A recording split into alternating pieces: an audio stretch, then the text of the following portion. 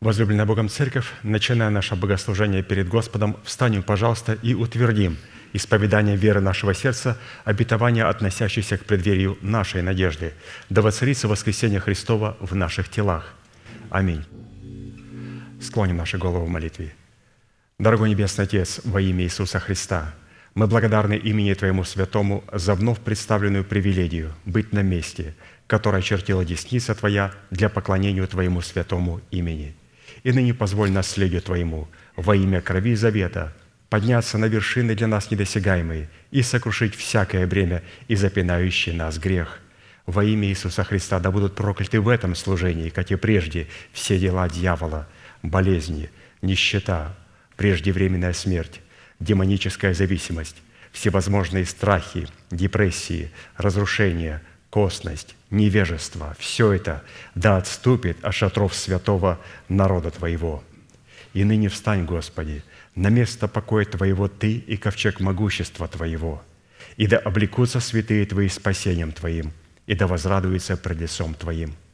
Дай нам больше от Духа Твоего, пропитай нас Духом Твоим святым, позволь нам найти светлое лицо Твое. Мы благодарим Тебя, что это служение представлено апостолом Аркадием в Твои божественные руки, и мы молим Тебя, продолжай вести его рукою сильную и превознесенную, великий Бог, Отец и Дух Святой. Аминь. Будьте благословенны, пожалуйста, садитесь.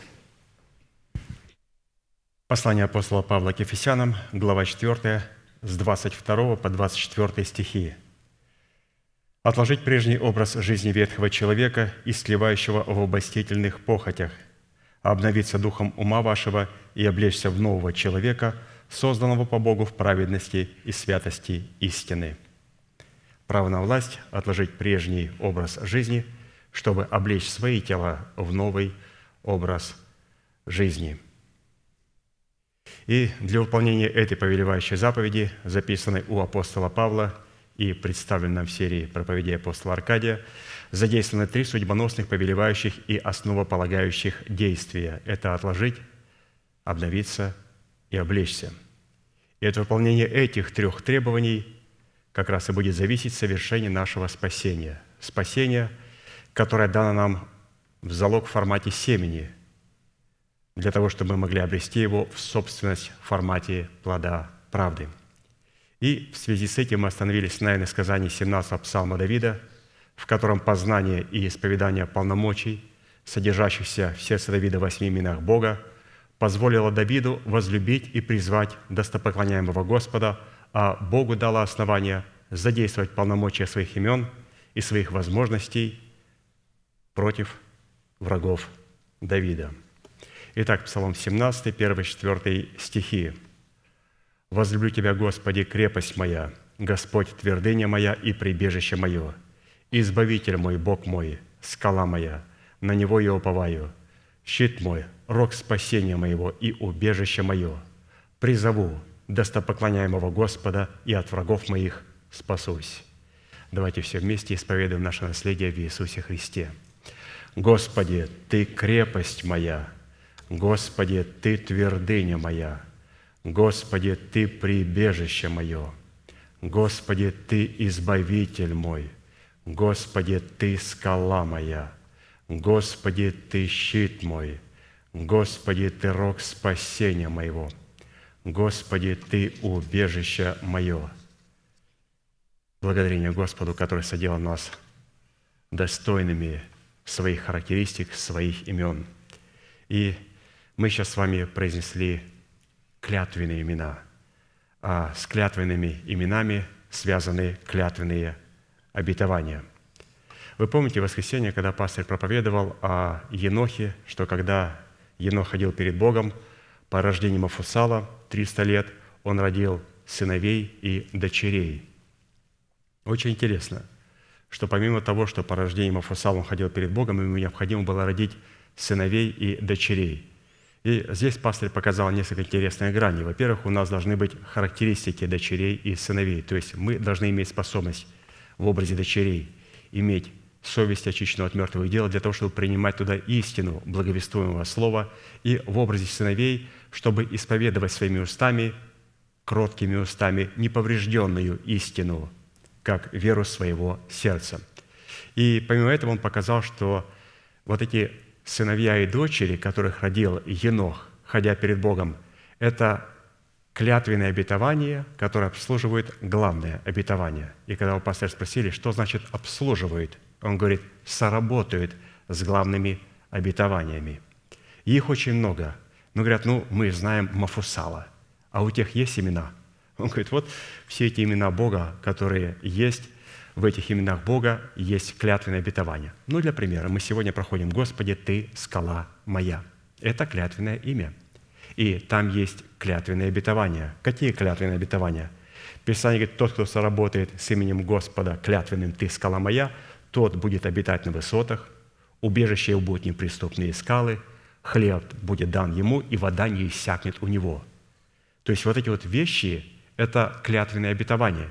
И все эти составляющие, как обитать на высотах, находиться в неприступных скалах, эти все обетования, которые Господь дал, они обслуживают главное обетование, обетование, которое лежит в преддверии надежды и которое подготавливает нас ко встрече со Христом. Поэтому каждое из этих имен, но сегодня мы будем продолжать рассматривать имя Господа «Ты скала моя», с ним связаны клятвенные обетования. Итак, говоря о имени Господа «Ты скала моя», перед нами было поставлено четыре классических вопроса. Первое, какими характеристиками и категориями определяется наш наследственный удел в имени Бога скала – Второе, какое назначение в реализации нашего спасения призван выполнять наш наследственный удел в имени Бога скала. Третье, какую цену необходимо заплатить, чтобы дать Богу основания быть нашей скалой. И четвертое, по каким результатам следует определять, что Бог действительно является нашей скалой в реализации нашего призвания. Итак, вопрос третий. Какую цену необходимо заплатить, чтобы дать Богу основания быть нашей скалой – и первая составляющая цены, призванная дать Богу основание быть нашей скалой, состоит в нашем решении внимать заповедям Господним, что даст нам власть на право выйти из Вавилона. То есть необходимо платить цену для того, чтобы внимать, слушать и повиноваться заповедям Господним, что нам даст власть на право выйти из Вавилона.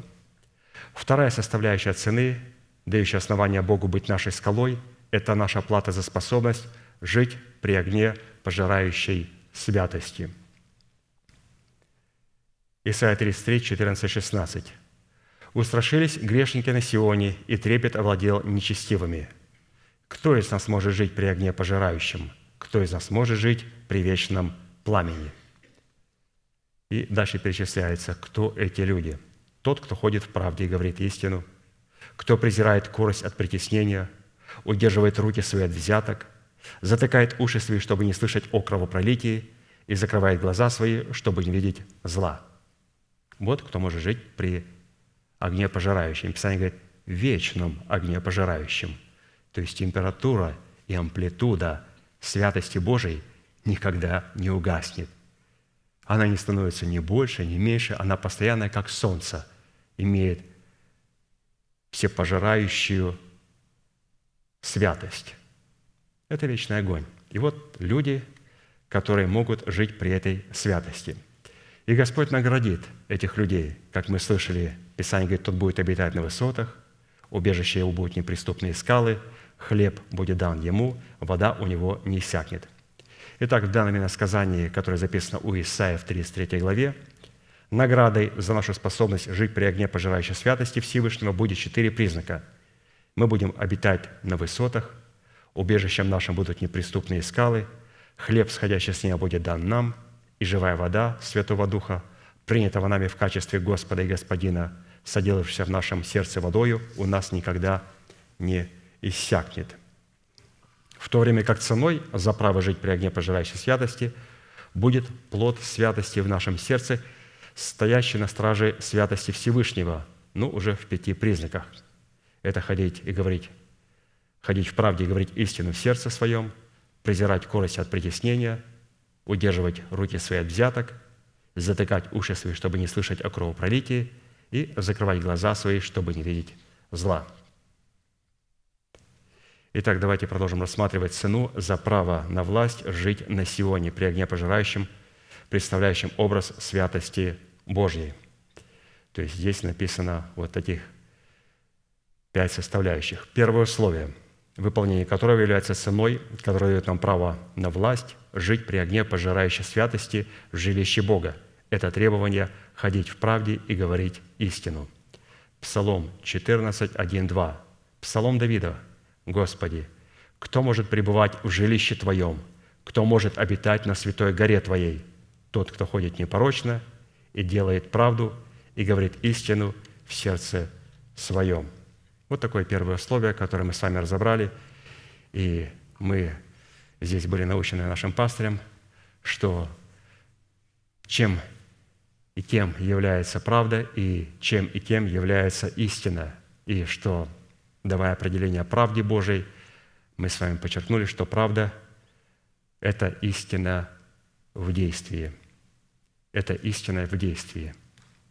Если у нас есть правда, а у праведника должна быть правда, то эта правда выражается истина в действии. Однажды в своей притче Христос сказал, что многие будут предстоять перед Его лицом и оправдываться, и говорить, «Господи, Господи, не от Твоего ли имени мы пророчествовали? Не Твоим ли именем бесов изгоняли? И не Твоим ли именем многие чудеса творили? Мы это все делали Твоим именем». И Он говорит, «Тогда я отвечу им, я никогда не знал вас, вас не знают на небесах». Почему они говорят? Потому что вы беззаконники. Я вас не посылал это делать. Вы сами себя послали на эту миссию. И Писание говорит, Он их вернет в озеро Огненное, вот таких людей. Почему? Потому что их в церкви не научили, что такое правда.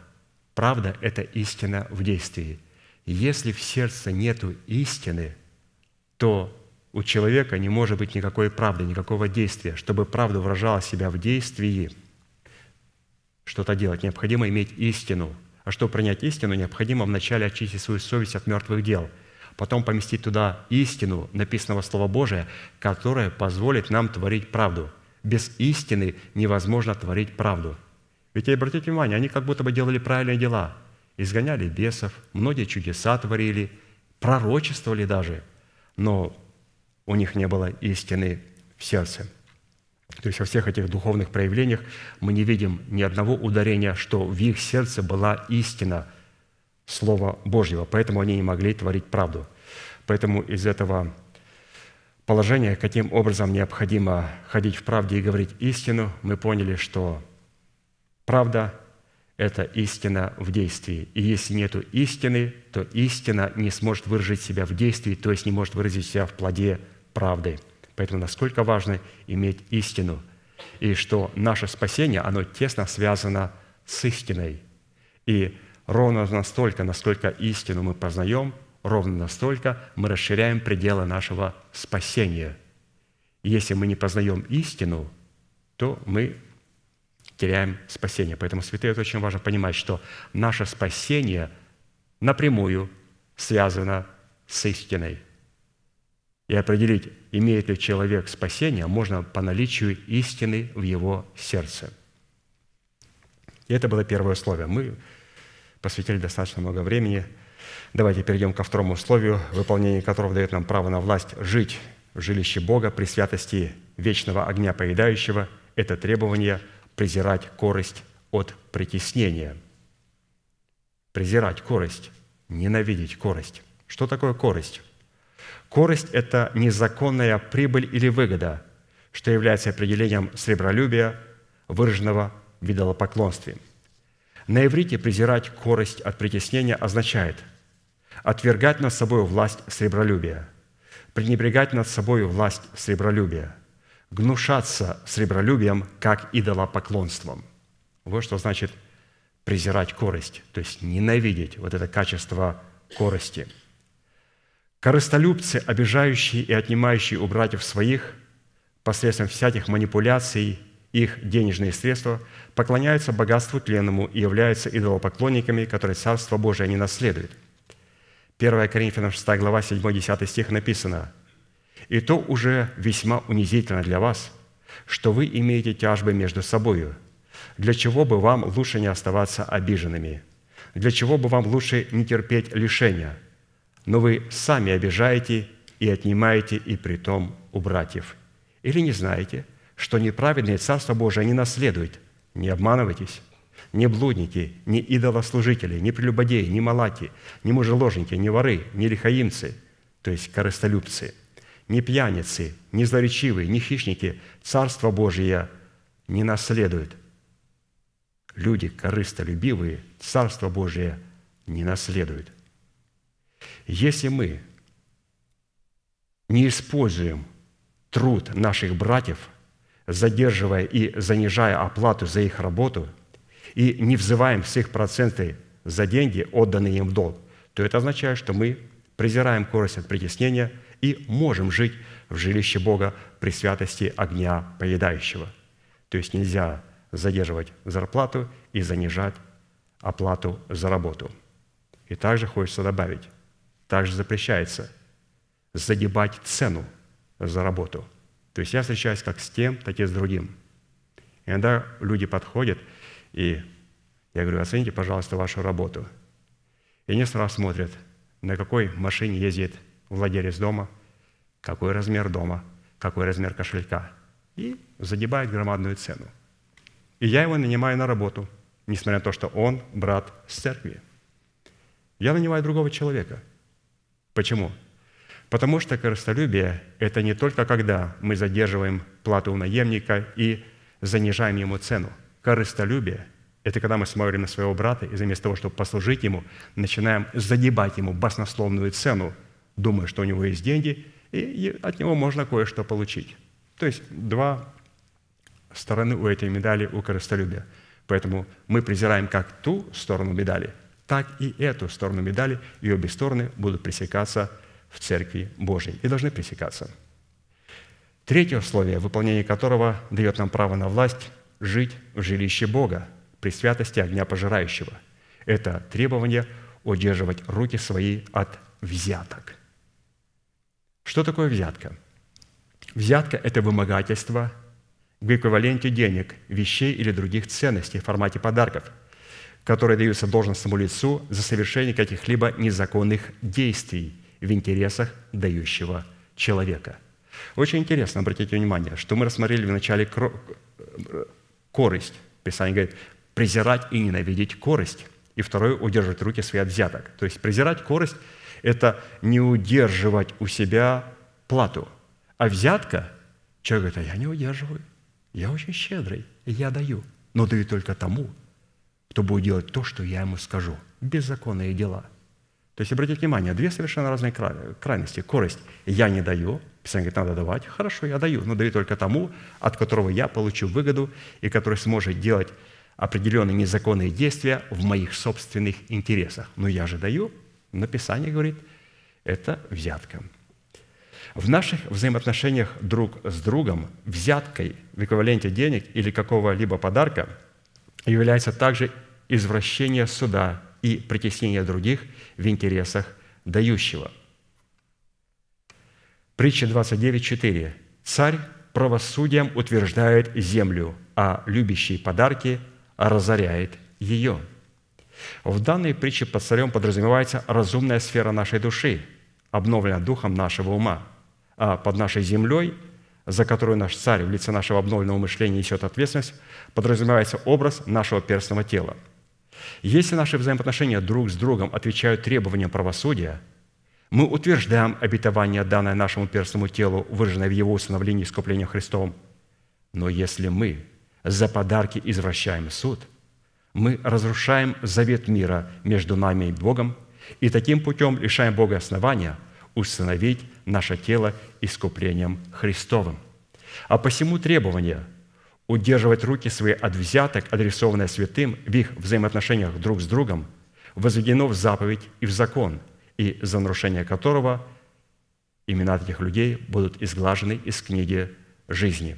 Притче 15, 27 написано, «Коростолюбивый расстроит дом свой, а ненавидящий подарки будет жить, то есть ненавидящий взятки будет жить. Есть подарок, но здесь подразумевается под подарком, разумеется, взятка.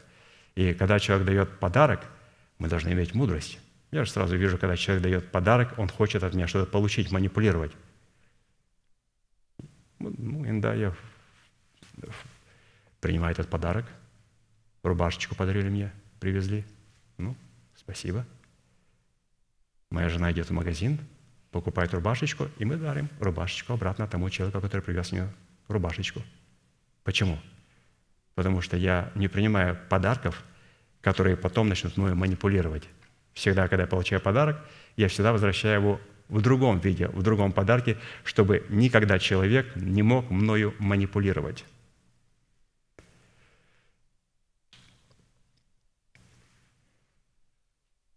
Екклесиаст. Крестолюбивый, определение его, это любящие подарки в формате взяток, за которые он готов оговорить невинного в интересах виновного.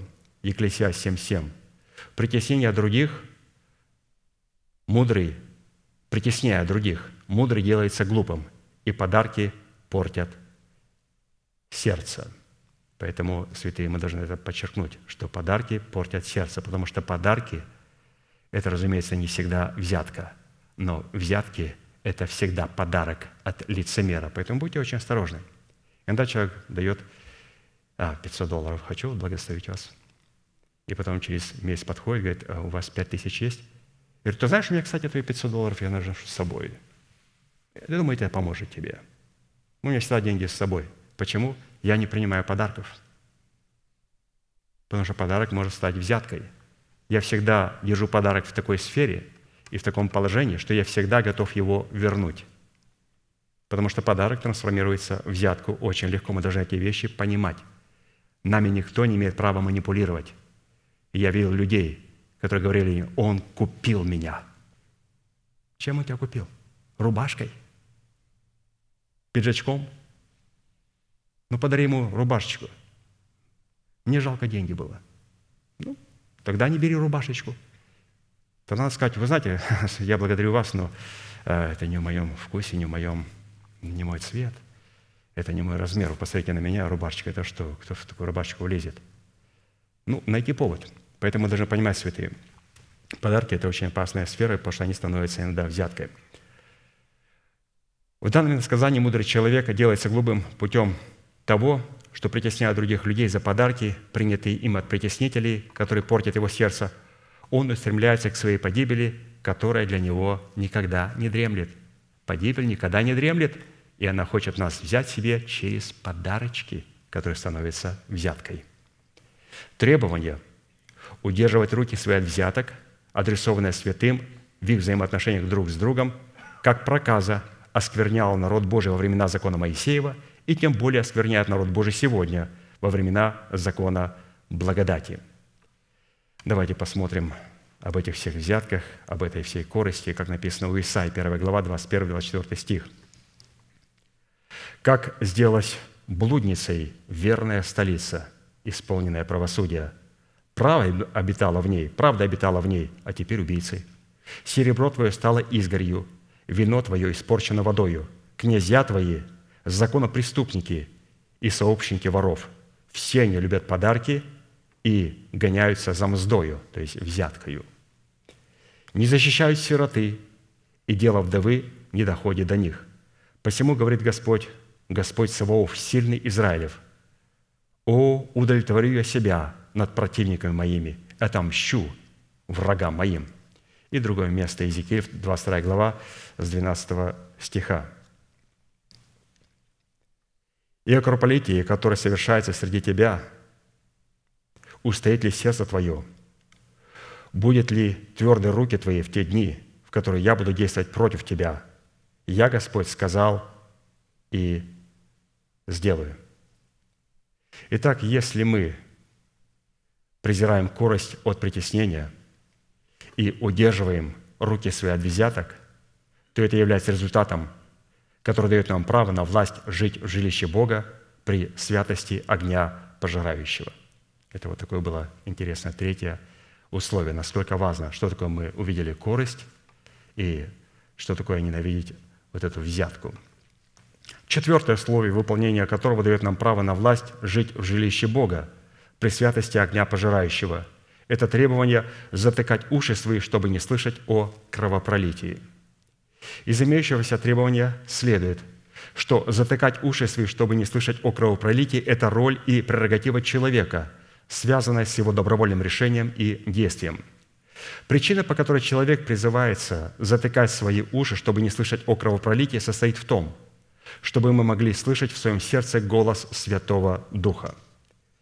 Мы с вами сотворены таким уникальным образом, что наше ухо не может одновременно слушать и сосредотачиваться на информации, исходящей из двух разного рода источников, взаимоисключающих друг друга и противоборствующих друг с другом – из области плоти, в которой обосновался царствующий грех в лице ветхого человека, живущего в теле, и из области сокровенного человека, в котором обосновался или обосновалась благодать Божия, воцарена через праведность его веры.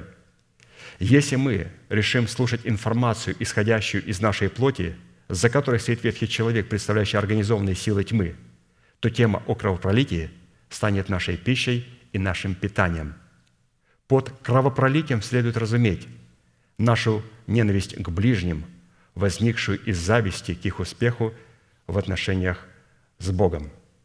То есть всякий раз, когда мы слушаем а, слова ненависти, слова обиды друг к другу, то мы должны понимать, что происходит кровопролитие, а мы а, не должны слушать и слышать о кровопролитии. 1 Иоанна 3,15. «Всякий, ненавидящий брата своего, есть человека-убийца, а вы знаете, что никакой человека-убийца не имеет жизни вечной в нем пребывающей. Встает вопрос, как на практике затыкать свои уши, чтобы не слышать о кровопролитии, которое будет вносить в наши уши как негативная информация о нашем брате, который является нашим ближним. Кровопролитие – это негативная информация о нашем брате, который является нашим ближним. То есть что такое кровопролитие? Если вот, вот собрание спросят – у вас. Вот что такое кровопролитие? Это негативная информация о моем брате, который является моим ближним. Ну и вот как вот затыкать свои уши. Матфея 10, 16. «Вот я посылаю вас, как овец среди волков. Итак, будьте мудры, как змеи, и просты, как голуби». Ну, давайте посмотрим на мудрость, на мудрость змеи – Мудрость змеи состоит в том, что когда она слышит определенную музыку заклинателя змей, который действует на ее как гипноз, она прижимается одним ухом к земле, а другое ухо затыкает своим хвостом и таким путем не слышит слов и музыки заклинателя. Под землей, которой прижимается змея, одним ухом следует рассматривать информацию, пребывающую в доброй почве нашего сердца, в достоинстве веры Божьей. То есть прижиматься своим ухом к той информации, которая находится в нашем сердце. Как вот Писание говорит, будьте мудры, как змеи. Господь, в чем ее мудрость? Он говорит, она прижимает одно свое ушко к земле, к той информации, которая находится в ее сердце. Учитывая, что хвост змеи является их рулем, дающим направление в поисках пищи, под хвостом, которым змея затыкает другое ухо, чтобы не слышать заклинателя, следует рассматривать уста, исповедующие веру Божию, пребывающую в нашем сердце. Именно исповедание веры Божьей, пребывающей в нашем сердце, захватывает нас в свои сети и делает нас глухими для любой негативной информации, которая не является верой Божьей. Итак, еще раз, как закрывать свое ухо? Оказывается, необходимо не просто молчать святые. Обратите внимание, змея одно ушко прижимает к земле и размышляет над тем словом, которое имеет, а другим а, вот хвостом затыкает другое свое ухо. И вот этот хвост является те уста, которые исповедуют веру нашего сердца. То есть исповедание веры, пребывающей в нашем сердце, оно как раз и делает нас глухими, делает нас глухими для негативной информации. Исповедание веры Божьей. Поэтому, если ко мне подходит, например, человек и говорит, ты знаешь, я хочу тебе сказать негативно об этой сестре – я так думаю, так что делать? Пастор учил. Ага. Надо исповедать веру своего сердца. Ты имеешь в виду, ты хочешь сказать мне о дочери Авраама? Чего? О моей сестре? Ты хочешь сказать о царе и о священнике? Что ты мне хочешь сказать положительного об этом святом человеке? Да ничего не хочу сказать. Махнул рукой и ушел. Что я сделал? Обратите внимание. Я не молчал скромно, не пустил свои глазенки скромно. Я сказал и начал исповедовать веру Божью. И это сделало меня глухим. И, что самое главное, безмолвным того человека, который хотел сказать мне о кровопролитии. Я сказал позитивно. Я знаю, святые его среди вас, общаясь с вами, как только человек начинает говорить что-то негативно о другом человеке, ты говоришь, ты знаешь, что я могу сказать массу тебе позитивного в Иисусе Христе об этом человеке. И тому человеку уже неудобно. Ну, как дальше продолжать такой диалог? Вот посмотрим, как написано у Исаия, 42 глава, с 18 по 21 стих. «Слушайте глухие». Вот обратите внимание, как глухой может слушать. Писание говорит, глухие. Это люди, которые затыкают свое ухо, чтобы не слышать о кровопролитии, но они а, слушают Духа Святого. И как пастор вначале сказал, что для чего мы становимся глухими для негативной, а, небожественной информации? Чтобы научиться слушать Духа Святого. Итак, слушайте глухие и смотрите слепые, чтобы видеть, кто так слеп, как раб мой, и глух, как вестник мой, мною посланный. Кто так слеп, как возлюбленный, так слеп, как раб Господа. Ты видел многое, но не замечал. Уши были открыты, но не слышал – Господу угодно было ради правды своей возвеличить и прославить закон. Итак, если мы обладаем способностью затыкать уши свои, чтобы не слышать о кровопролитии, путем исповедания веры Божией, пребывающей в нашем сердце, то это говорит о том, что нам дано право на власть жить при огне, пожирающем, обуславливающем святость Всевышнего в жилище Бога. Как мы видим, насколько важно исповедать веру нашего сердца. То есть мы здесь тоже встретились с исповеданием веры нашего сердца. И это исповедание не молчание, а исповедание делает нас глухими. Не молчание, а исповедание. Обычно говорят глухо-немой. У Бога глухо говорящий. То есть я глухой, потому что я говорю Слово Божие – но в природе есть глухонемые, то есть он не слышит и он не говорит. А у Бога так, если ты не слышишь, то ты говоришь веру Божию, потому что ты слышишь Духа Святого. То есть вот такая интересная мудрость змеи была представлена нашим пастырем. Хорошо, это была вторая составляющая цены. Давайте уже перейдем к третьей составляющей цены, которая дает основание Богу быть нашей скалой, состоит в нашем осознанном и добровольном решении – отождествиться со смертью Христа, чтобы получить основание быть отождествленным с Ним в Его воскресении. Решение отождествиться со смертью Христа, чтобы получить основание отождествиться с Ним в Его воскресении. Образно, как смерть Христа, так и Его воскресение было связано с пещерой, высеченной в скале. То есть мы продолжаем рассматривать, какую цену необходимо заплатить чтобы Господь стал нашей скалой. Вот мы сейчас поговорим об этой скале, в которой была пещера, где был помещен Господь Иисус Христос. Марка 15 глава, 44 стих, 46. Пилат удивился, что он уже умер, и, призвав сотника, спросил его, давно ли умер. И, узнав от сотника, отдал тело Иосифу. Он, купив плащаницу и сняв его, обвил плащаницу – и положил его в гробе, который был высечен в скале, и привалил камень к двери гроба. И положил его в гробе, который был высечен в скале. То есть, обратите внимание, оказывается, говоря, «Господи, Ты скала моя», мы должны, как написал наш пастырь, отождествиться со смертью Христа. Почему? Потому что вообще-то скала, она возводит нас на вершины для нас и высоты недосягаемые, прообраз воскресения. Но как подняться туда? Господь говорит, посмотри, что в подножье скалы пещера. Что это за пещера? Это гроб Господа Иисуса Христа. Он говорит, твое правильное отождествление со смертью Христа позволит тебе в воскресенье Христа взять вершины для тебя недосягаемые. Итак, гроб, высеченный в скале членом Синедриона из Римофеи по имени Иосиф, на территории своего сада, насаженного оливковыми деревьями, который существует и до ныне, был заблаговременно приготовлен Иосифом для себя и для своего дома. И затем добровольно был отдан им для захоронения в нем тела Иисуса, растерзанного солдатами Пилата. Чтобы наследовать завещанный нам Богом удел в имени Бога скала, необходимо задействовать принцип соработы нашей веры с верой Божией, в которой мы призваны почитать себя мертвыми для греха, живыми же для Бога, называя несуществующее как существующее. То есть вот это как раз принцип, что Он добровольно отдал для захоронения тела Христа в той гробнице, которую Он приготовил для себя и для дома своего. И это прообразно говорит нам о том, что мы здесь работаем своей верой, с верой Божьей, в которой мы почитаемся мертвыми для греха, живыми же для Бога. То есть вначале в мою гробницу должен попасть Христос. Очень важно. Не я попадаю в гробницу. У каждого из нас должна быть скала. В этой скале должна быть пещера. И я в этой пещере никогда не буду лежать до тех пор, пока в ней не будет лежать Господь Иисус Христос. Мы должны, чтобы Он был помещен туда. А как?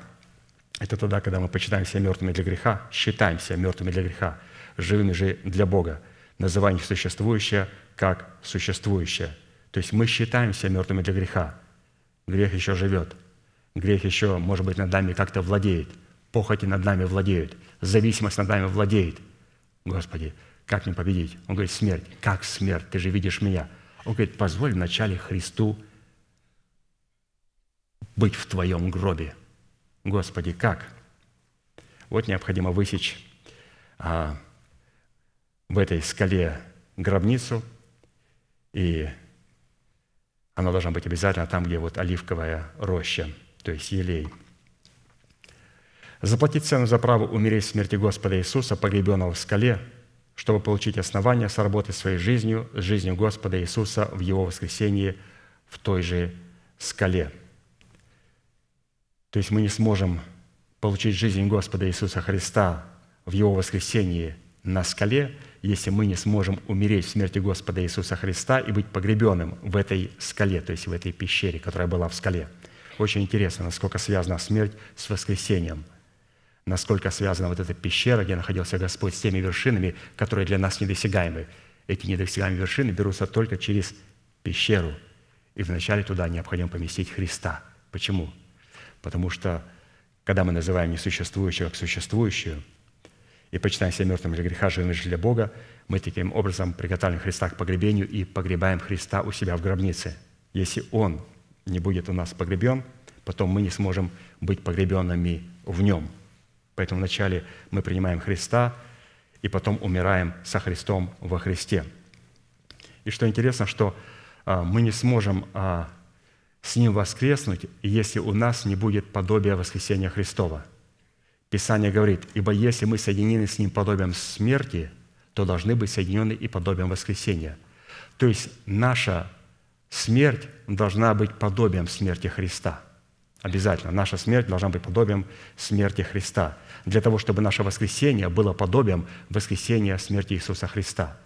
Другими словами говоря, если мы не сможем умереть, как Христос – а для этого необходимо иметь скалу, для этого необходимо иметь оливковую рощу, в которой находится пещера, и в этой пещере должна находиться смерть.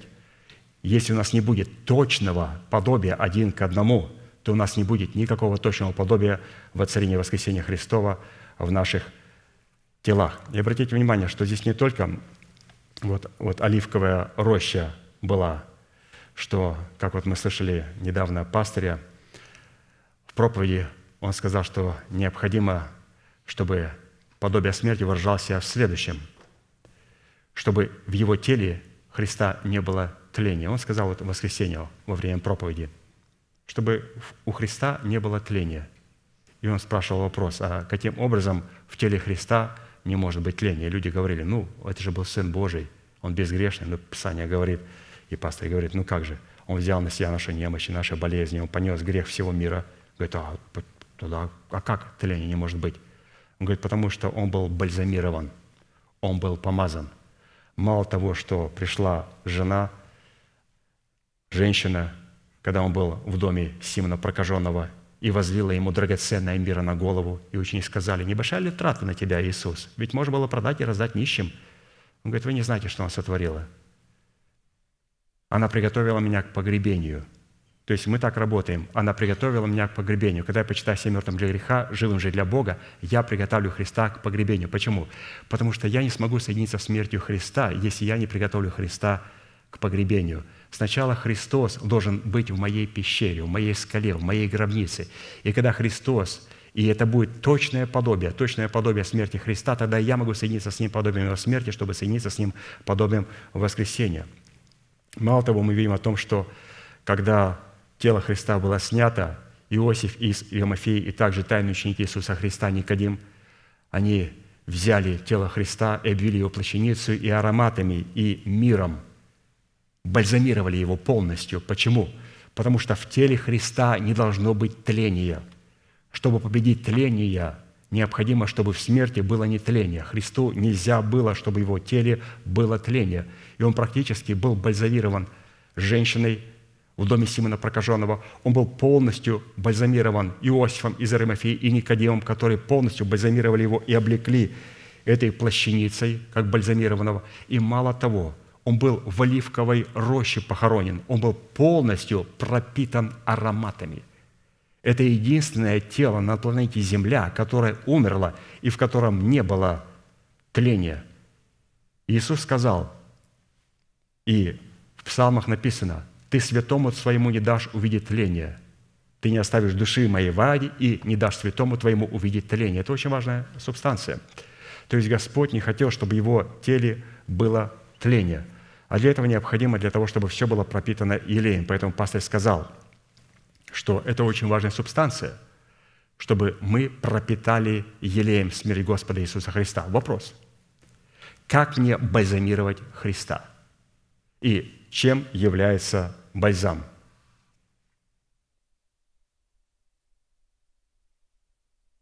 Давайте прочитаем 2 Тимофея, 1 глава, 10-11 стих.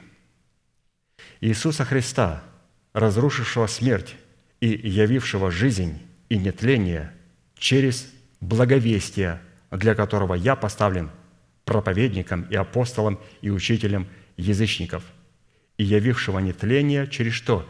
Через елей благовестия, для которого апостол Павел говорит, я поставлен проповедником. Оказывается, елей, которым был бальзамирован Христос, это благовестие, это истина о кресте. И принятие и сохранение от повреждений благоухающей истины о сораспятии со Христом, состоящей в истине креста Христова – приготавливает наше тело к погребению во Христе Иисусе и рассматривается Писанием как приготовление в своем теле тела Иисуса к погребению. Принятие и сохранение от повреждения благоухающей истины о сораспятии со Христом. 2 Коринфянам написано, 2 глава, 14-17 стих. «Но благодарение Богу, который всегда дает нам торжествовать во Христе, и благоухание познания о себе распространяет нами во всяком месте, ибо мы Христово благоухание Богу в спасаемых и в погибающих. Для одних запах смертоносный на смерть, а для других запах живительный на жизнь. И кто способен к всему? Ибо мы не повреждаем Слово Божие, как многие, но проповедуем искренне, как от Бога перед Богом во Христе Иисусе. Итак, благоухание познания – это когда мы не повреждаем, принимаем истину и не повреждаем ее. И когда мы принимаем истину, о чем? Истину о кресте Христовом, которое становится благоуханием сразу в спасаемых и в погибающих. И для одних является запахом смертоносным на смерть, а для других – запахом живительным на жизнь. То есть очень важная субстанция. Мы говорим, мы должны быть соединены, соединены подобием Его смерти. Почему? Потому что если мы не будем соединены точной копией Его смерти, мы не сможем быть соединены и подобием Его воскресения. И мы смотрим, Господи, покажи, как Ты умер. Он говорит, я был пропитан бальзамом полностью. В моем теле не должно быть тления – меня помазали в доме Симона Прокаженного драгоценным миром, на чем соблазнились все апостолы. Иуда встал из стола и пошел к священнику и говорит, за сколько вам продать этого человека? Я продал вам его. Уж очень много, большие затраты пошли на этого святого человека, на голову вылили такой драгоценный елей. Как? Подобие смерти Христа – это понимать, что мы должны быть полностью бальзамированы. И под бальзамом мы с вами увидели это благовестие, о котором апостол сказал, для которого я поставлен проповедником. И когда мы принимаем это благовестие и не повреждаем его, это как раз тот материал, который позволяет нам бальзамировать тело Иисуса Христа и быть вот этим подобием смерти Господа Иисуса Христа. Без нас никто не будет бальзамировать Христа. Каждый из нас, святые в отдельности, должен соработать с именем «Господи, Ты скала моя». Он говорит, там есть пещера. Господи, что делать с пещерой? Туда, это Твоя пещера, она пустая, Господи. В этой пещере буду скоро я. Он говорит, там не будешь. Я говорю, Господи, а что делать? Помести туда Христа. Как поместить туда Христа? Называй несуществующее как существующее. Почитай себя мертвым для греха, живым же для Бога. И это позволит Христу быть в твоем теле помещенным в твою пещеру. Не, не, не вздумай туда попасть прежде Христа. Ты погибнешь. Как погибнуть? Если в твою пещеру не попадет Христос до тебя, а тебя похоронит, и в пещере твоей никогда не был Христос, ты погибнешь. Господи, как мне туда поместить Христа? Бальзамируй тело Его – как бальзамировать его тело? Принимай благовествуемое слово и не повреждай. Позвольте мне еще раз прочитать это предложение, которое пастор сказал в пятницу. Мы его вторник его слышали, и пастор его в воскресенье сказал, и концентрат на него сделал. Давайте еще раз прочитаем это а, определение. Принятие и сохранение от повреждения благоухающей истины о сораспятии со Христом, состоящей в истине креста Христова, приготавливает наше тело к погребению во Христе Иисусе – и рассматривается Писанием как приготовление в своем теле тела Иисуса к погребению. То есть, оказывается, когда мы являемся вот этим благоухающим и распространяем благоухание познания о себе, а это происходит тогда, когда мы не повреждаем Слово Божие, а это определяется сразу, что для одних мы будем запахом смертоносным, для других запахом живительным, никакого понятия о толерантности не существует. Это о том, что у человека есть бальзам – и что он бальзамировал тело Иисуса Христа, и в его гробе, в котором должен быть я, положен Христос. Теперь что необходимо сделать? Через исповедание и плату цены я помещаю себя в Христа. Очень важно.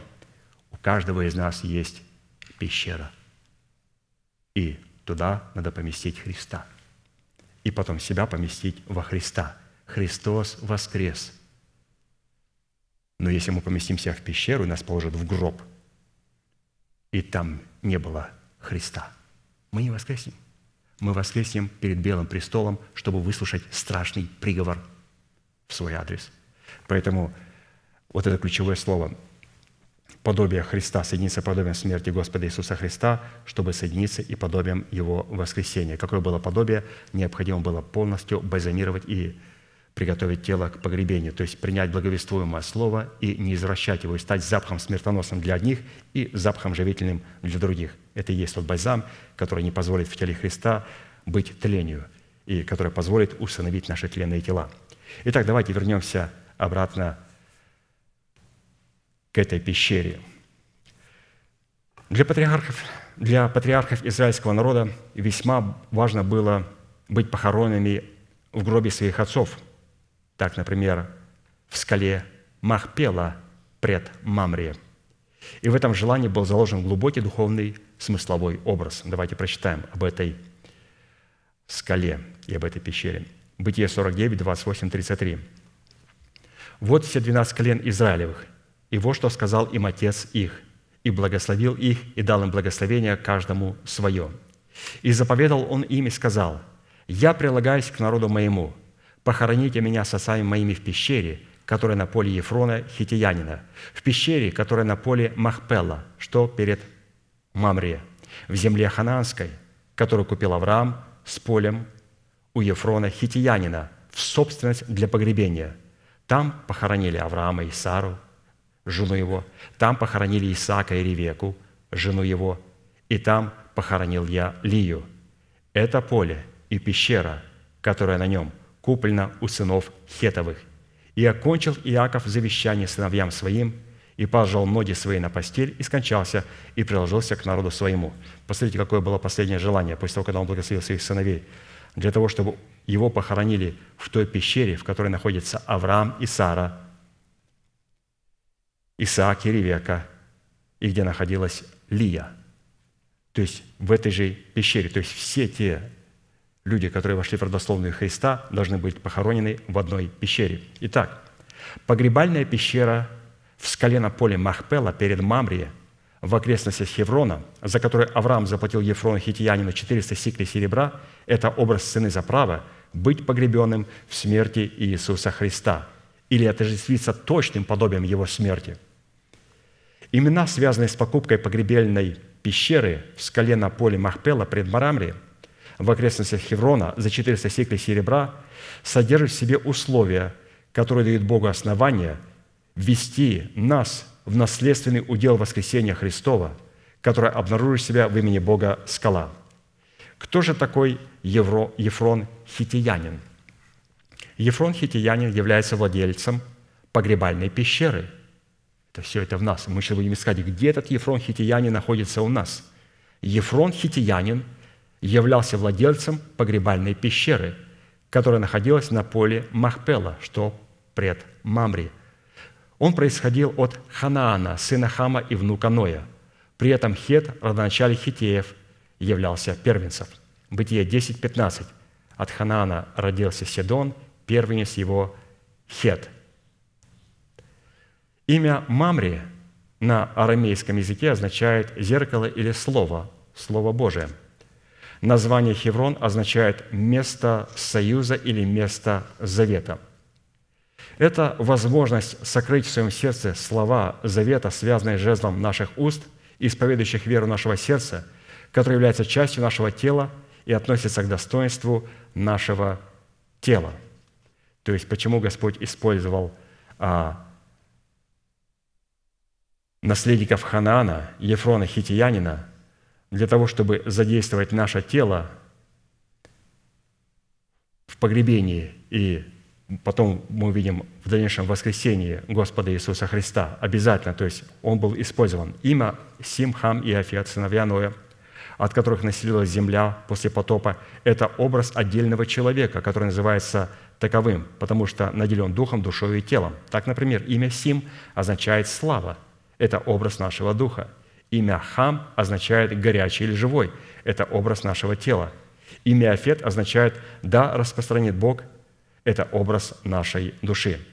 Однако, если вы обратили внимание, то Ефрон Хитиянин и Маври Амариянин, живущие в окрестностях Хеврона, которое стало местом завета Бога с человеком, является образом нашего тела, потому что они происходили все от Хама. И именно Авраам у них купил пещеру. Именно у них э, происходила эта сделка. То есть, обратите внимание, у кого он, он производил эту сделку – он сработал с нашим телом. Наш дух сработает с нашим телом, чтобы наше тело не попало в гроб и не осталось в тлении. Обратите внимание. Поэтому а, мы должны сработать с нашим телом и исповедовать, чтобы вот задействовать наше тело для того, чтобы избавить наше же тело от тления. Отсюда следует, что Авраам, заключая союз с Мамри Амариянином и покупая погребальную пещеру у Ефрона Хитиянина, образно преследовал цель состоящего в установлении своего тела искуплением Христовым. А образ самой погребальной пещеры, ставшей местом воскресения Христа, образно указывал на причастность человека к Сиону в лице избранного Богом остатка. То есть, еще раз, с кем заключил Авраам союз? Он заключил с потомками Хама. И именно у них купил пещеру, кладбище – чтобы быть похороненным там. Посмотрите, а, как Бог заботится о нашем теле. Он хочет, чтобы прежде чем наше тело будет положено в гроб, чтобы в этом гробе находился тот, кто воскрес. А для этого необходимо нам создать точное подобие смерти Христа, чтобы произошло точное подобие воскресения Христа. Ибо если мы соединяемся с Ним подобием смерти Его, то обязательно соединимся и подобием воскресения – и поэтому наша цель, чтобы в нашей пещере был положен Христос. Итак, стоит вопрос, что в нашем случае призвано являться ценой за право наследовать удел в имени Бога скала Израилева, которую необходимо заплатить за погребальную пещеру в скале, чтобы получить право на власть, сработать своей смертью со смертью Христа, чтобы впоследствии дать нам право и правовое основание сработать своей жизнью с воскресением Христа Иисуса. По этому поводу приведем три свидетельства из Писания, которые вскрывают смысл цены, заключенной в 400 сиклей серебра, уплаченную Авраамом за погребальную пещеру. Авраам заплатил 400 сиклей серебра у потомков Хама для того, чтобы а, купить у них погребальную пещеру. И это откровение нам необходимо знать, чтобы мы также заплатили вот эти 400 сиклей. А это определенные принципы. Пастор предлагает нам увидеть три принципа, где представлено вот эти 400 образных сиклей для того, чтобы мы могли купить погребальную пещеру и поместить туда Господа Иисуса Христа. Он говорит, она приготовила меня к погребению. Кто она? Вы, я, мы, Церковь Христа. Мы приготовили Христа к погребению. И Он погребен в нашей пещере. И поэтому, когда мы умираем, умирающие умирают в Господе. И Христос воскрес из мертвых, и мы воскреснем со Христом. Но если меня положили в мою пещеру и похоронили в гроб, и в этом гробе никогда не было Христа – белый престол, и около белого престола человек такой слышит слова. «Беззаконник, я никогда не знал тебя. Отойди от меня». Господи, как тебя познать? Он говорит, как узнать? Я хотел встретиться в пещере, чтобы потом встретиться с тобой в воскресенье, в смерти Господа Иисуса Христа, а потом встретиться в воскресенье. Господи, ну пока мы находимся в теле, мы готовы платить эту цену. Что же такое 400 сиклей серебра? Давайте посмотрим три места, которые нам покажут цену. Вот эти 400, где они присутствуют. Итак, Бытие 32, 6, 12. «И возвратились вестники к Иакову и сказали, мы ходили к брату твоему Исаву, он идет навстречу тебе, и с ним 400 человек». Иаков очень испугался и смутился, и сказал Иаков – Боже Отца моего Авраама и Боже Отца моего Исаака, Господи, сказавший мне, возвратись в землю Твою, на родину Твою, и я буду благотворить Тебе, недостоин я всех милостей и всех благодеяний, которые Ты сотворил рабу Твоему, ибо я с посохом моим пришел, перешел этот Иордан, а теперь у меня два стана. Избавь меня от руки брата моего, от руки Исава, ибо я боюсь его, что он, придя, не убил меня и матери с детьми, ты сказал, я буду благотворить тебе и сделаю потомство твое, как песок морской, которого не исчислить от множества. Ценой избавления от Исава, представляющего образ как цены души Иакова, потому что Исав – это душа Иакова, будем говорить. И здесь он просит, чтобы Господь избавил его от Исава. Итак, еще раз, ценой избавления от Исава, Исава, который представляет образ как цены души Иакова – Таки образ цены нашей души являлась потерей как души Иакова, так и потеря нашей души в смерти Господа Иисуса. И такая цена, и она выражена, как мы знаем, в 400 сиклей, а здесь с ним было 400 человек с Иаковом. Она связана с приобретением нашего тела для Господа и выражала себя в освящении, которое выражало себя в отречении и отделении от нашего народа, от дома нашего Отца и от нашей жизни. Эта цена давал нам право купить погребальную пещеру в скале, в свою собственность, чтобы быть погребенным в смерти Господа Иисуса, дабы восстать в Его воскресении. В силу такого освящения мы облеклись в достоинство пришельца, сироты и вдовы и утратили способность защищать себя, чтобы дать Богу основание быть нашим отцом, нашим судьей и мстителем за нас. То есть вот, пожалуйста, где мы встретили вот эти 400 сиклей серебра, за которые мы должны купить свою пещеру. Писание говорит, надо в эту пещеру вначале попасть. То есть мы туда поместили Христа, ну, он там лежит, а мне туда что-то не хочется заходить. Писание говорит, надо зайти. Как? Мы видим о том, что Исаак испугался Исава, который шел, и с ним было 400 человек. И 400 человек, как пастор написал, выражал себя в освящении. Оказывается, что когда шел Исав к Якову, мы увидим о том, что потом они заключили завет, и они примирились между собой. Они примирились между собой. То есть, оказывается, Иаков снова приобрел Исава воскресение Господа Иисуса Христа. Но для этого необходимо, чтобы Исав шел с 400 человек. 400 человек – это цена освящения, когда мы умираем для своего народа, для дома своего отца и для своих расливающих желаний. что, оказывается, когда он шел с этими 400 человек, это говорит о том, что душа начала идти на освящение, для того, чтобы приготовить себя к посвящению. Поэтому мы, здесь интересно, пастор предложил нам, каким образом вот эти 400 сиклей серебра проявляют. Необходимо, чтобы Исав сделал решение погрузиться в смерть Господа Иисуса Христа. И вот мы видим, это 400 человек – оно, выражая себя, они были вместе с Исавом. То есть это освящение, полностью отделение нашего Исава, нашей души от нашего народа, от дома нашего Отца и от наших собственных расливающих желаний. Это цена. У Авраама написано просто, он купил за 400 сиклей серебра за погребальную пещеру. И здесь три примера. Вот первый пример говорит, каким образом теперь в эту погребальную пещеру необходимо зайти. Вот наша душа должна иметь вот это 400 сиклей серебра, то есть освещаться. Где еще встречается 400 а, сиклей серебра образно? Ну, вот они встречаются, встречаются в 400 агнцев. Ездра 6, 17.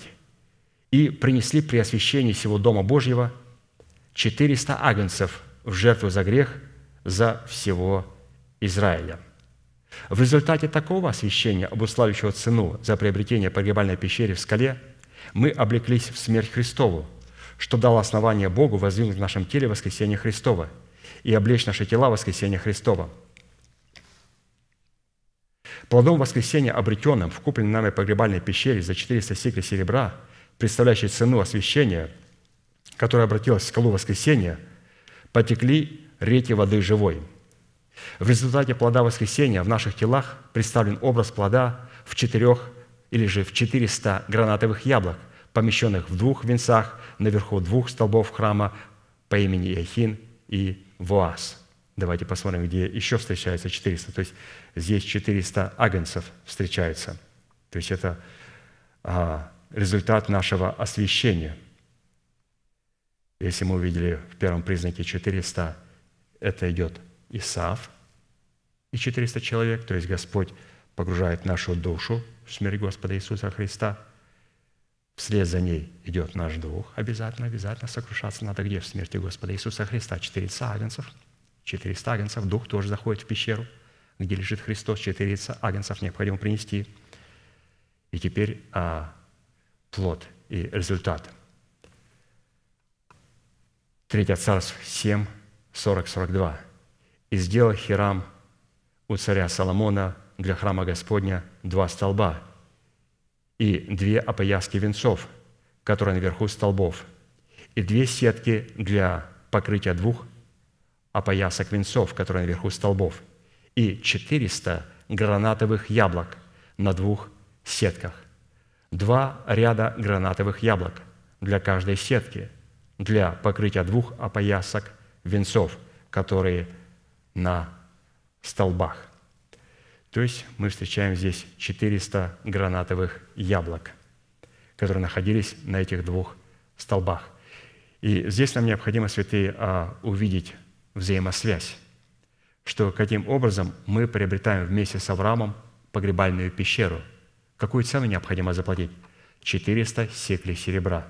И как мы с вами еще раз увидели, немножко возвращаемся, смотрим на картину с большого расстояния, что мы здесь увидели. Платим ли мы 400 секлей серебра? Во-первых, оно выражается в том, что Иак, Исав, Исав шел, и с ним было 400 человек.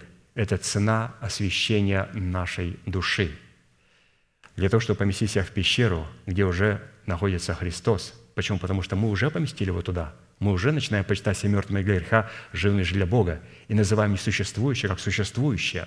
Мы считаем себя таковыми, но мы таковыми не являемся. Не являемся. И это хорошо.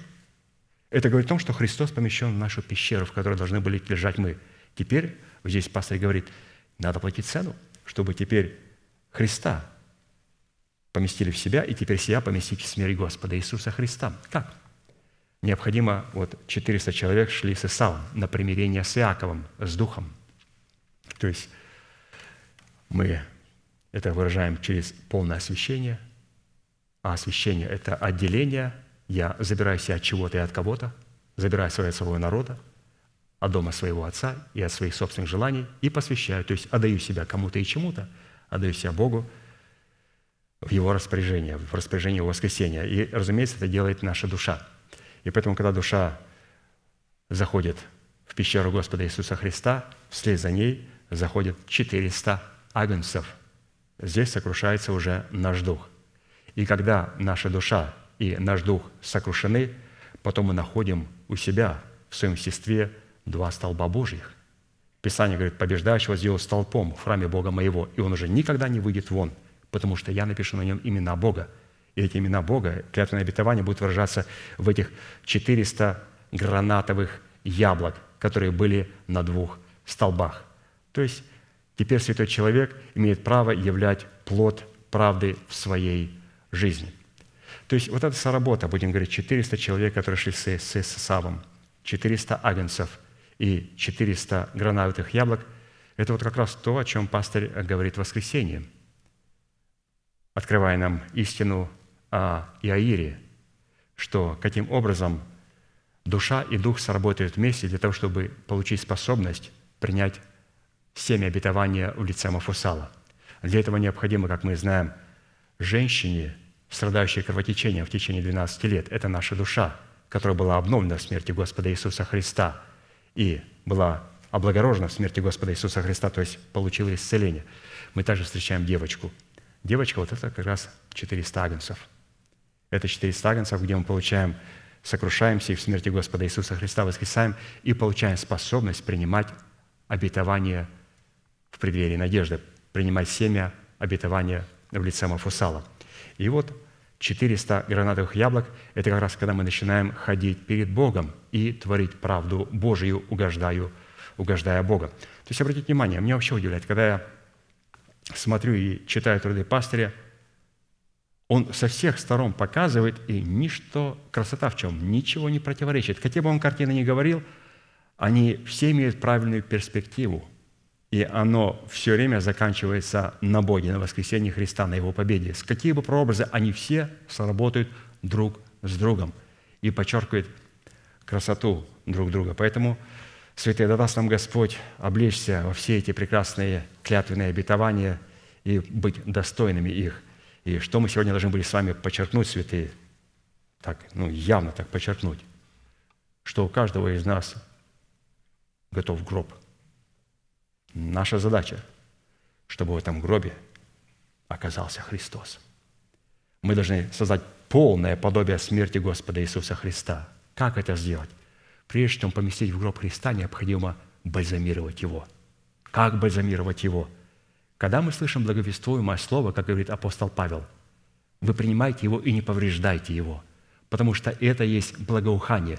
И когда мы принимаем истину о кресте Христом, которая будет для одних обязательно запахом смертоносным, для других запахом живительным, не смущайтесь, не искажайте истину, не будьте толерантными, принимайте. Это позволит вам поместить Христа в ваш гроб, в вашу скалу и бальзамировать его, в нем не будет тления – и потом, когда Христос уже находится в моей гробнице, теперь я помещаю себя через 400, через плату 400, помещаю свою душу в Господа Иисуса Христа. Вслед за ней ее дух сокрушается в смерти Господа Иисуса Христа. И когда облагорожена моя душа, сокрушен мой дух, теперь я имею способность принять обетование обещанного Мафусала, прогоняющего смерть.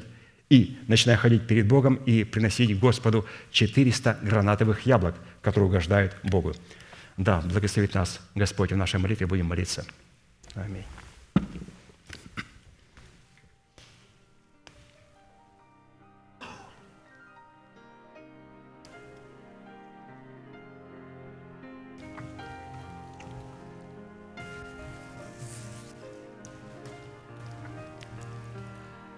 Дорогой Небесный Отец, во имя Иисуса Христа, мы благодарны имени Твоему Святому за привилегию находиться на месте, который очертил десница Твоя для поклонения Твоему святому имени. Мы благодарим Тебя, Господь, что на этом месте пребывает атмосфера страха Божия, потому что здесь находится Твоя совершенная истина. Твоя совершенная истина, которую Ты возвеличил превыше всякого имени своего. И Ты стал рабом своего слова, и Ты показал Сыну Своему Иисусу Христу, как надо чтить и поклоняться перед Словом. И Он передал это почтение Духу Святому через апостолов, оно было передано также и нам. И мы также, Господь, сегодня, подражаю Тебе, видя тот пример в апостолах, возвеличиваем Твое Слово и превозносим его и благодарим Тебя за Твое Слово, что Ты явил себя неизменным в Слове Боге. И мы прибегаем к Тебе, Господь, и говорим, что Ты являешься нашей крепостью, Ты являешься нашей твердыней, и Ты позволил нам сегодня взять Твои заповеди, взять эти гири и начинать взвешивать себя на основании Твоего Слова. И судить себя на основании тех заповедей, которые, Господь, мы услышали, чтобы очистить себя от всякой скверной плоти и духа. Ты позволил нам, Господь, иметь способность прибегать к Тебе, для того, чтобы иметь способность оплодотворяться семенем истины, для того, чтобы мы могли взрастить плод правды, который сможет нас избавить от всякого тления. Мы благодарим Тебя, Господь, за то, что Ты дал нам такую способность обитать на Твоих высотах. Ты позволил нам находиться на неприступных скалах, и мы смогли подняться на вершины для нас недосягаемые. Ты дал нам хлеб, и вода, Господь, не иссякает у нас. Благодарим Тебя за Слово Божие и за Дух Святой, который пребывает на этом месте. Мы будем ходить, Господь, перед Тобою – ходить в Твоей правде и говорить истину в сердце своей. Мы сделали, Господь, сегодня решение презирать всякую корость.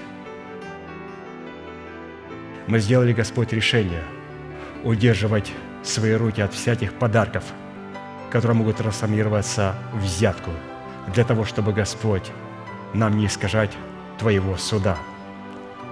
Дай нам, Господь, мудрость чтобы враг не мог нас манипулировать через подарки и взятки. Позволь нам, Господь, обладать мудростью для того, чтобы нам не извращать Твоей правды и являть, Господь, Твой суд пришельцу, сироте и вдове. Позволь нам, Господь, затыкать свои уши. Мы сделали, Господь, решение обладать мудростью змеи и затыкать свои уши, чтобы не слышать о кровопролитии – и для того, чтобы, Господь, не слышать о кровопролитии, мы сегодня будем исповедовать Слово Божие о Твоем наследии, о Твоих святых. Кем для нас являешься Ты? Что Господь сделал для нас Ты? И кем мы являемся в Иисусе Христе? Мы закрываем глаза свои, Господь, чтобы не видеть зла. И мы благодарим Тебя за слепоту и за глухоту, которую Ты явил в Господе Иисусе Христе – и мы сегодня обладаем, Господь, этой глухотой, этой слепотой, для того, чтобы взирать, Господь, на Твою истину, на Твои обетования, для того, чтобы слышать Духа Святого в благовестном слове Твоих посланников. Мы благодарим Тебя, Господь, за Слово Твое, что Ты не оставишь души нашей в аде и не дашь святому Твоему увидеть тление. Благодарим Тебя за смерть Господа Иисуса Христа – за смерть, которая не имеет себе подобных аналогов. Смерть, которая не имеет себе никакого тления. Смерть, которая могла поглотить тление. Мы благодарим Тебя, Господь, что для того, чтобы нам начинать прогонять смерть по научению через нашего пастыря и по откровению Святого Духа, которое передано нам – мы сделали, Господь, решение не повреждать этого слова.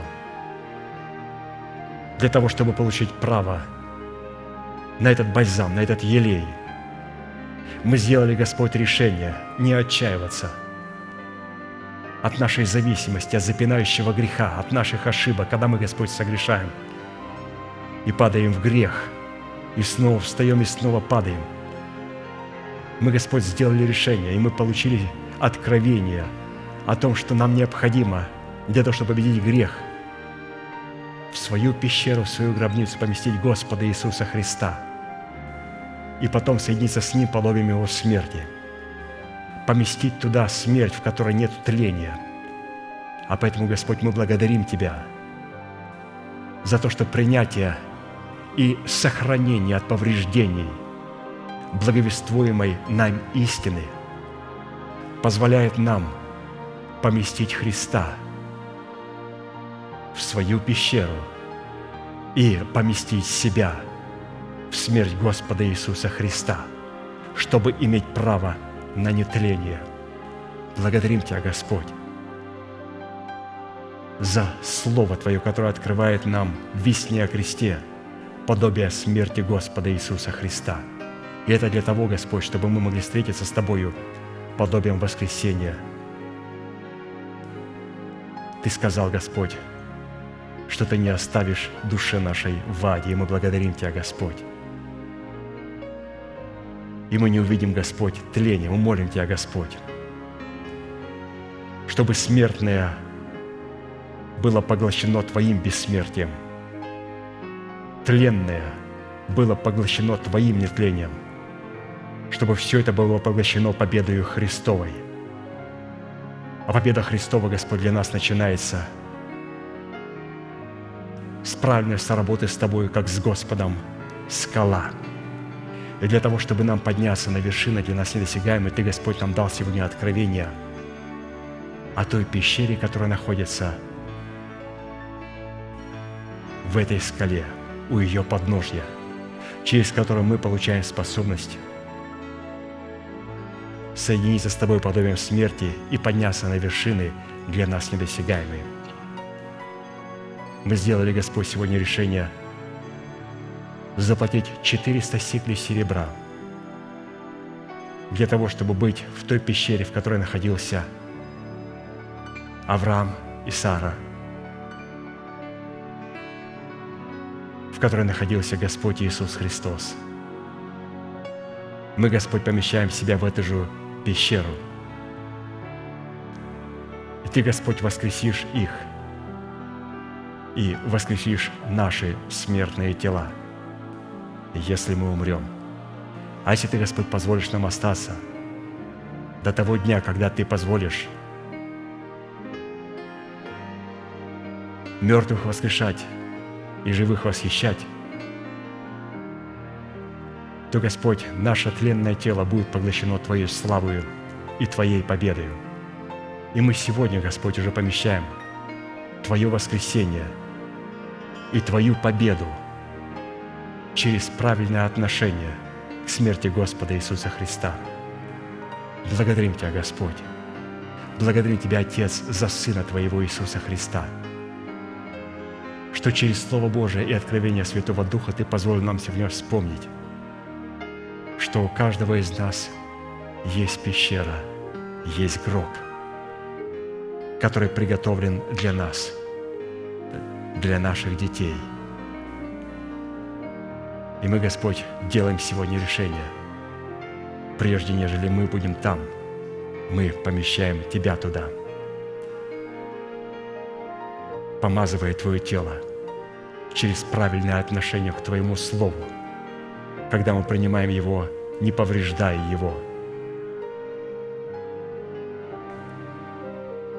Благодарим Тебя, Господь, что Ты находишься, и мы соработаем с Тобой, как с Богом нашей скала. И Ты уже находишься в нашем гробе. И сегодня, Господь, мы также делаем решение – заплатив цену за эту пещеру, поместить себя в ту пещеру, в которой Ты, Господь, находишься для нас. Ты, Господь, воскрес, но на своем камне Ты оставил аккуратно сложенную плащаницу для невесты своей, для нас, чтобы мы, Господь, были приготовленный к погребению. И, Господь, Ты оставил ее для нас.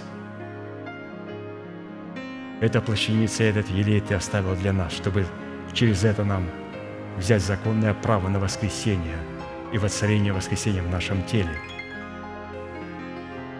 Мы благодарим Тебя, Господь, что мы сегодня заплатили цену и платим цену, чтобы наш Исав, наша душа –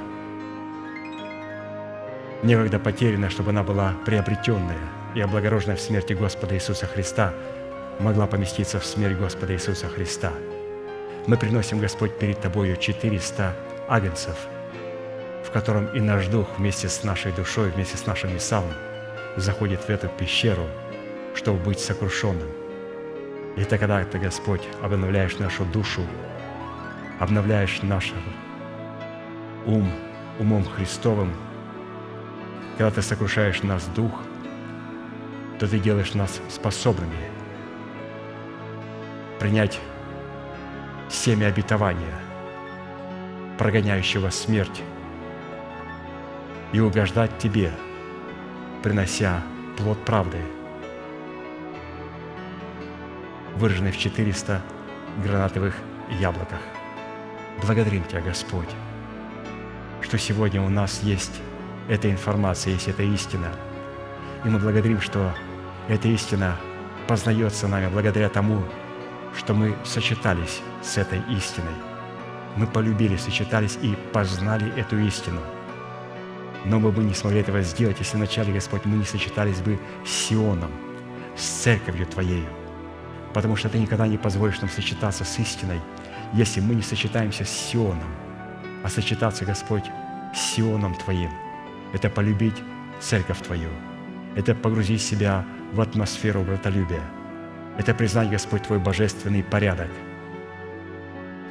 через который Ты сможешь нас благословлять и открывать нам Твою истину. Мы благодарим Тебя, Господь, за Твою церковь. Благодарим Тебя, Господь, за посланников Твоих, за апостолов Твоих, за апостола Аркадия, который передал нам Слово Божие – которое является благоуханием, которое мы принимаем и не повреждаем его, как это делают многие в угоду себе, ради корости. Мы, Господь, сделали решение принять это благоухание и сохранить его от всякого повреждения, что позволит Христу – быть помещенным в нашу пещеру, и что позволит нам потом поместиться в Иисуса Христа, который находится в нашей пещере. И когда придет время, Господь, воскресения, время восхищения, то все то, что было со Христом, все то подобие, которое было с Ним, оно повторится и будет с нами. Благодарим Тебя, Господь, за то откровение, которое мы слышали и слышим через нашего пастыря. И мы с благоговением, с трепетом и с жаждой приготавливаем себя и свое сердце для того, чтобы слышать то откровение, Господь, которое Ты приготовил нам через нашего пастыря, брата Аркадия, для того, чтобы оно поступило в распоряжение нашего сердца, чтобы потом оно могло поступить в распоряжение нашего мышления – и в распоряжении наших уст, исповедующих веру нашего сердца. Для этого, Господь, мы приготовим свое сердце для слышания Твоего Слова. Благодарим Тебя, Господь, за то Слово, которое мы слышали. И мы, Господь, молим Тебя о милости, чтобы она благо поспешила к нашей скорой встрече. А ныне, Господь, мы благодарим Тебя за то, что мы имеем – Благодарим Тебя за хлеб насущный, который Ты даешь нам на сегодняшний день. И прославляем Твое святое имя, наш великий Бог, Отец и Дух Святой. Аминь. Отче наш, сущий на небесах, да святится имя Твое, да придет царствие Твое, да будет воля Твоя и на земле, как и на небе. Хлеб наш насущный подавай нам на каждый день, и прости нам долги наши, как и мы прощаем должникам нашим. И не веди нас в искушение, но избавь нас от лукавого, ибо Твое есть царство и сила и слава во веки. Аминь. Закончим нашей неизменной манифестацией. Могущему же соблюсти нас от падения и поставить пред славою Своею непорочными в радости, единому, премудрому Богу, Спасителю нашему, через Иисуса Христа, Господа нашего. Слава и величие, сила и власть прежде всех веков, ныне и во все веки. Аминь.